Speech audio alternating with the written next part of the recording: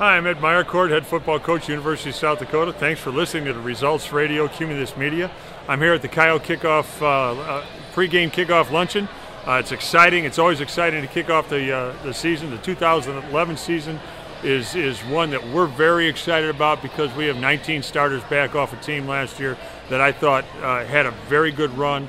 We got as high as 18th in the country last year, and, and we expect to do even better this year. Our kids are, are, are excited to rep, represent this university. It's great to get amongst the fan and the fans and the alumni, and we're just happy to be here. So continue to uh, listen to this station, and uh, hopefully come down and see a Coyote game.